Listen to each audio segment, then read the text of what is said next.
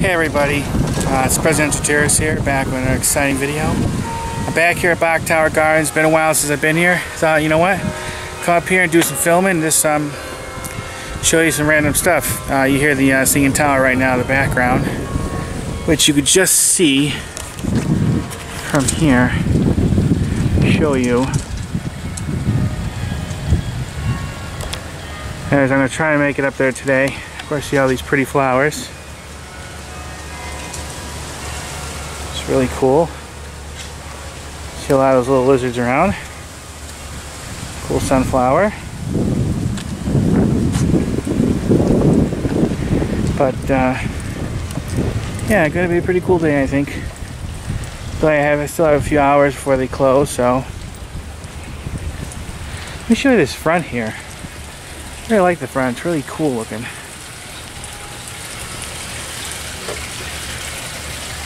Show you this. I always like this fountain part. I think this front courtyard part architecture is really um, very pretty looking. Kind of Roman-like in my opinion. Look at those cool frogs shooting out the water. I always like that.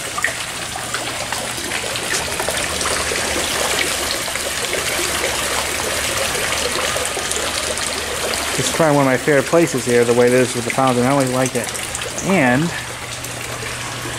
show you who's back, the um, alligator statue. He was gone for a while. They were exhibiting him somewhere else, but they brought him back, which is pretty cool.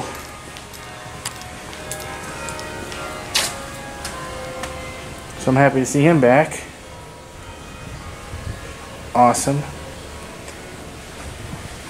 going to show you some random stuff. Um, we'll see how it goes. And um, just, just onward and upward, I guess. Alright. See you all in a second.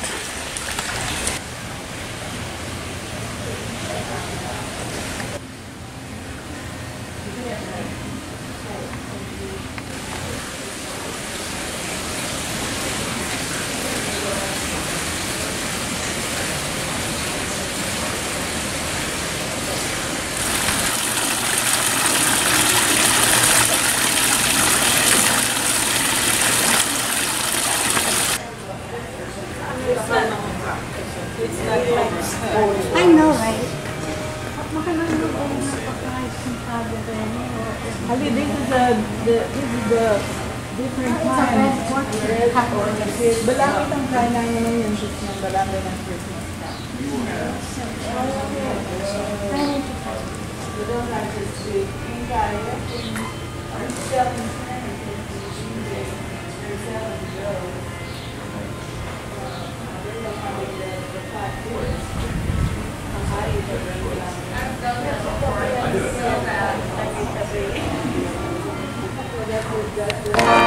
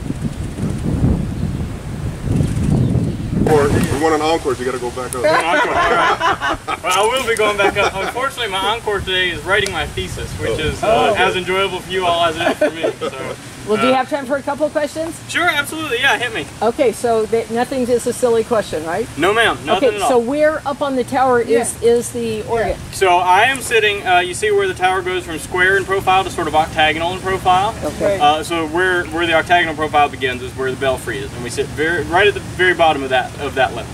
So do you climb stairs to get there? So there are stairs. You can climb the stairs, and and sometimes if I'm feeling like uh, feeling like I earned it, maybe I'll climb the stairs. But usually I take the elevator. Oh, there is an There elevator. is an elevator. Yeah. No. Yeah, so there's uh, it's the oldest operating, continuously operating elevator in the state. Actually, uh, it was put in, in in 1927 under the supervision of, of Mr. Otis himself. He was here when they put As it in. an Otis elevator? Yes, ma'am. Wow. hope it doesn't break down for a few Well, minutes. you know, people say that, but I, I figure I got the same philosophy with old elevators as I do with old airplanes, right? You never want to fly in a new airplane because, you know, it could crash anytime. You fly in an 80-year-old airplane, that thing hasn't crashed yet. That's the safest one around, you know? That's a good point. Modern engineering. That's right. Although, you know, I do have to say it's very well maintained, you know, modern There you aspects go. and all Right. that, of course. But, I uh, used to be a pilot. yeah, no, yeah. you flew There's a F-4s, map didn't in there if you want to do it. tell you something.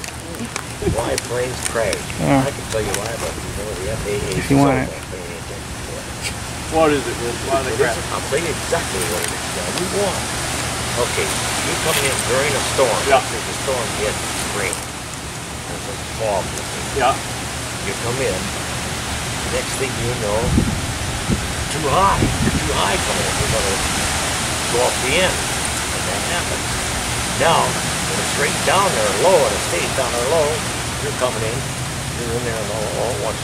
You're too low. Mm-hmm. And the reason is the beam they send up. You watch it years ago. Watch a TV set. Uh-huh. And you know, well, you didn't know, a storm would come in from the west, and you get a lousy picture. But if you turn to the west, to the antenna, you get stronger signal from that. That signal was bent. Ah. They still don't. Huh. Well, A few years yet, they'll come up with it. I tell people, so I I originally started in college as an aerospace engineering major, and I tell people that one way or another I got off the ground. So luckily we don't have to deal with that kind of problem exactly off this type No, of I off the didn't ground. pay but- attention to the instrument set. I mean, you know, it was a storm. Right, right. I know where I was going. Go, go in. Yeah, yeah. I got to say, except for my airplane analogy, all that stuff is above my pay grade. Uh, so, but I'm happy to answer more questions about the Carillon. So, So what was that song with the songs that you were playing? What, what, So I played a bunch of them. Um, they may they may have been out of the programs already by the time by this part of the day. But um, so the first three, uh, let's see, what did I start with? The very first piece uh, was called Lake Wales Nocturne and was written for for this instrument. Is that the one o'clock or three o'clock time? That's the three o'clock time. That's, that's first, what we the heard. first one we Yes, heard. ma'am. Yeah. Yeah. So that was the very first one you heard. So that was written for this carillon. Okay. Um, the second three pieces were from uh, a work with six movements, but I've selected three movements from there um, by a guy called Ronald Barnes, who was a really prolific Carillon composer. So that was by him. Um, then you probably heard uh, Hotel California. Well, I hope you were able to Yeah, pick it out. Hotel that. California, and uh, let's see, what was the second one? Mrs. Oh, Robinson. Mrs. Robinson. That's right. Thank you. And then. Uh, oh, you Sweet got the- Sweet Caroline, that's right. And then I improvised on it. On it. Yes. So that, that was what I played today. So some stuff written for carillon and some stuff that just kind of light music. So carillon means bells, right? Yes, yeah. So, uh, uh, so our definition of carillon is at least 23 fixed tune bells played by a traditional baton clavier. Um, so some places have what we would term non-traditional carillons, where they're bronze bells like we have here, but maybe played from piano keyboard, um, electromagnetic. So we play completely mechanically. We don't have any any kind of assist of any kind. No pneumatic, no magnets, nothing like that. Yeah. So um, so our, our smallest bell, and we're only moving the clappers, but our smallest bell weighs about 16 pounds. Our biggest bell uh, weighs 11.7 tons, so like 23,500 tons. Wow. So um, even though we're only moving the clapper, the great big bell has a great big 400 pound cast iron clapper, and so that we have a pedal board as well. And so obviously using your legs, you got a lot more mass in your legs than in your arm. And that big bell, what's the note? What's So it's it rings a low F. Uh, or no, I take that back. It rings a low E flat. So we actually have a transposing carillon. So on the piano, when you play a C, you hear a C naturally. Um, carillons work a little differently, and so there's not like a standard transposition. Some work that way too. You play a C, you get a C. Here you play a C, you get a B flat. So and it's a it's a whole thing. But Okay, how did you start playing this thing? In junior high, they had a carillon. yeah, that's right. They had Class, carillon right? day at junior high school. No, so um, so I went to school at the University of Florida, and uh, as I mentioned, I was an aerospace engineering major. But I arrived on campus and uh, I had to make the choice between calculus and carillon, so I chose the more fun one. um, but uh, yeah, no. So I, I heard it on campus and, and have always been attracted to you know sort of uh, strange instruments. I've played bagpipes in high school and I've you know played played a bunch of stuff. And, uh, so I heard it and, and thought that that was pretty cool. It was unlike anything I'd heard before, and so I thought I need to need to learn how to play this. So. How many bells are up there? So there are 60 bells in this carillon. Um, the number of bells is interesting with carillons because it doesn't necessarily reflect the size of the carillon. So we have 60 bells here. In, in Gainesville, where I learned, there are 61 bells. However, this is a much bigger carillon. If you melted down all of the bells in Gainesville, all 61 bells, you could make about one and a half of just the biggest bell here. Wow. So these bells, um, although there are fewer in number, they're much more in the bass range. And the profile, so how thick any given bell is for the same pitch is much thicker here. And so that gives a much uh, more resonant sound, and much richer and lasts a lot longer uh, than the bells in Gainesville. Um, but as a result, the bells in Gainesville were not as expensive as these bells, but money was really no object when, when they were building this one. So when Mr. Bok built this, are the bells made in the United States or where did they come from? So um, the carillons are only cast uh, just by a, a handful of firms in the world. Uh, most of them, at least at that time, were in Holland and uh, Belgium. So, however, these are English bells, uh, which have that thicker profile like I was talking about typically, whereas Dutch and Belgian bells had thinner profiles. Um, so these were cast in Loughborough, England, which is about halfway between London and Birmingham, England, um, in 1927. Then they were put on a ship in London and shipped to Jacksonville. In Jacksonville, they were put on a series of specially outfitted flatbed rail cars, shipped into town, and then put on the flatbed rudimentary semi-trucks, essentially, and brought up the hill, brought into the tower from where the fireplace is now on that side of the tower because it wasn't completed yet, and hoisted up through the middle of the tower. Um, so if they ever had to take them out for any reason, for instance, bells stay in tune. They're tuned when they're made, and they stay in tune for about uh, 300 years, usually at least. Um, and so, unfortunately, 210 years from now, if they need to retune them, I don't know how they're going to get them out of there because there's stuff all in the tower, and of course the tower's completed now. So I guess they would have to remove the tiling at the top and removing that way. But I don't know. I- I'm, I'm glad I won't be here when that happens. When Just play out of tune. well, yeah, that's your that's your other option. When Mr. Bok built this tower, was that the main goal is to have it as a bell tower? Yes, yes, that was intended from the beginning. So um, he was an immigrant from Holland, and so he remembered the carillon from his youth, and, and wanted to make that part of, of the gardens. And when you play, I mean, is it really hot in there? I mean, do you have do you have natural So ventilation? it was really hot in there today because, uh, and I was cursing his name. Uh-oh. I was cursing his name uh, as I came down the stairs. But the full-time carillonneur here is from Belgium, actually. Um, but he loves it really hot, which is funny because in Belgium it's cold like all the time. Um, uh, well, not cold, cold, but like 50 degrees a lot of the year. Anyway, so he cranked the thermostat way up, and uh, so I was sweating while I was up there playing. In fact, my, by the end, my hands were slipping off the keys because I was. But uh, but normally it's not. It is climate control. Thank you very much. What is your doctorate in? You said you're going to work on your So I'm. I'm just working on my master's, but it's in it's in music. So it's it's on shape note singing, which is a, an, a historical American type of music. And if you were a Caroliner, am I saying it right? Caroliner. mhm. Caroliner, is this like the ultimate place to play? Yeah, uh, here, here tells the story. So he had won the major carillon competition by the time he was 17, had his own tower in Antwerp, which is like a major job. Uh, and his father, who was also a caroller, said, well, you know, as a graduation present of sorts, I'm going to take you to play the best carillon on earth. And brought him here from Belgium, which is, you know, like the, the cradle of it. So, um, so yeah, a lot of a lot of people think very highly, myself included, of this this tower and this, this carillon. Well, thank you, and we truly Well, enjoyed thank it. you. Well, so I'm so glad you appreciate it. Yeah. Any hurricane damage? No, ma- well, actually, so this great big window here was broken during the storm, um, but that's all. The tower was Pretty fine. sturdy? Yes, ma'am. It's uh, sorry, I'm a, I'm a man. I can only do one thing. Um, uh, um, it uh, um, yeah. So the tower was built to withstand 200 mile an hour winds. So hurricanes are are pretty much we're pretty much impervious to those. Do you have a business card? No, ma'am. I'm sorry. I don't because I don't have a full time gig yet, and so I, I don't.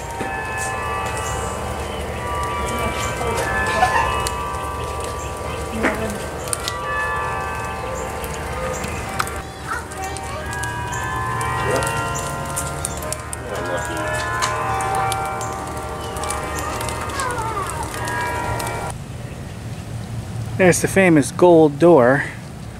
And I actually been in there on the bottom level once years ago.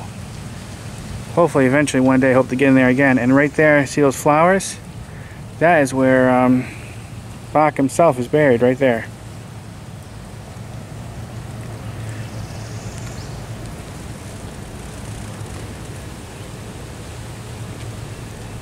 Beautiful place, I gotta tell you that.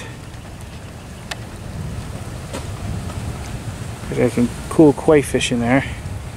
And they have a little uh, thing over there at the Spencer where you could buy some fish or um, food for them. If that's your thing. Wanted to show you this cool um, Japanese stone lantern today. I actually filmed it, I think I filmed it once before, but um, it's been a long time. Here's a little plaque for it. And it's right down this cool little path to it. I see another one of these stone lanterns at um, Cypress Gardens. There are some smaller ones, and um, Disney. I gotta be careful. There's a spider web there. Doesn't look like there's anything in it. Go down. But uh, there was one at Disney too, at the Japanese Pavilion. Memorial gift presented to the sanctuary as a tribute to Edward Bok by W. Tishitia of Tokyo, Japan, uh, January 19, say 55. Pretty cool.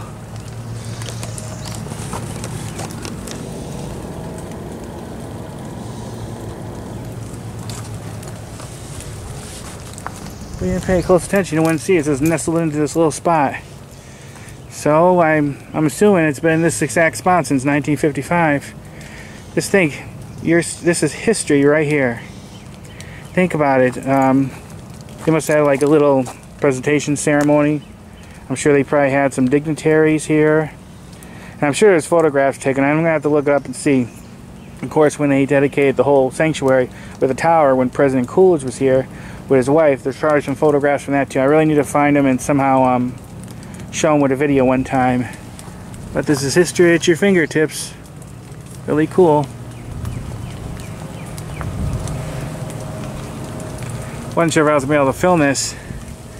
I had um, well, I might have to stop again again because it's uh, it's been raining. This is not a waterproof camera. So hopefully the rain will stay away for a while.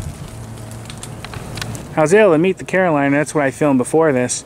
But I guess during certain days and times you could sit here, here, and there's a monitor there and you can actually watch the performance live, which is pretty cool.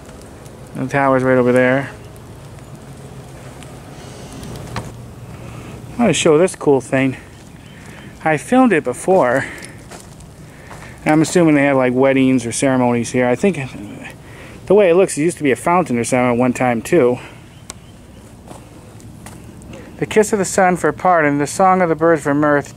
You're nearer God's heart in a garden than anywhere else on earth.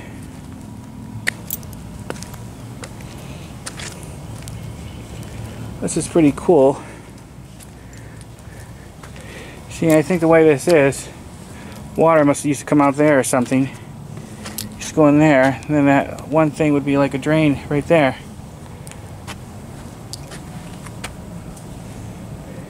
Very pretty place. A tribute to Edward William Bok from the neighbors of Mountain Lake Park. Not exactly sure what year it was. Sure if you could read that.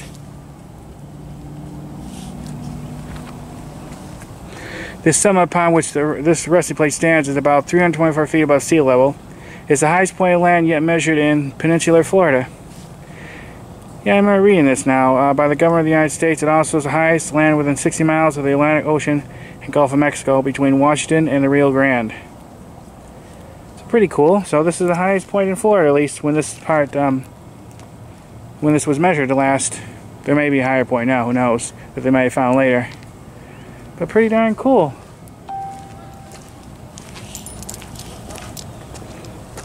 And a beautiful view.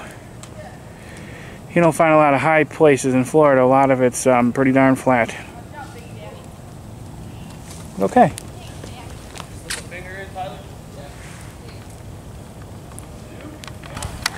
Alright, that's it for today. I would have filmed more, but it was raining earlier. It looks really nice and sunny out now, but here in Florida, the rain will come up quick and quick and hard, and then it'll go away, then it could come back. I don't think it's going to rain anymore right now, but I decided to um, call it quits anyways. They're getting close to closing. I made did a lot of walking around. It's really peaceful. I'll do more filming next time. Didn't get a chance to show you um, some of the other parts. Plus, uh, all the times I've been, there, there's actually some parts of um, Bok Tower Gardens I actually haven't been to yet. I need to, to like tour the mansion and stuff, but when I do, I'll make sure I film it. Probably coming back and definitely filming more, showing you some of the awesomeness of this place. Pretty flowers, and you get and you see some some of the wild animals and the wildlife and stuff like that, especially by window by the pond, which is pretty cool. Which I filmed before, but I always like, like I said, I always like Bok Tower Gardens. If you ever get a chance to visit Central Florida, check it out. Um, if you live here, make sure you check it out. And if I was you, I'd get um, like um, a year membership. Far better deal than getting a day pass, in my opinion. Plus, they have a reciprocal program. There's a lot of other places like other gardens and I think zoos and stuff. I think you get like um, either get in there for free or you get a certain amount off admission. Um, if you want any to be more exact information with that, uh, call Bok Towers. You can ask them about the reciprocal program. But uh, it's definitely worth, in my opinion, to get a year pass. Okay, um, any comments, questions, please put them below. Uh, thanks for watching. Hope everyone has a nice day. And check out my channel. I have a ton of um, touristy videos like this. There's Bok Towers, Disney. I do historical places, um, museums. I do food review videos. I do just a whole boatload of different stuff. And um, check out my channel if you like it. Uh, please subscribe. All right. Thank you, everybody. Hope everyone has a nice day. Bye, everybody. Bye.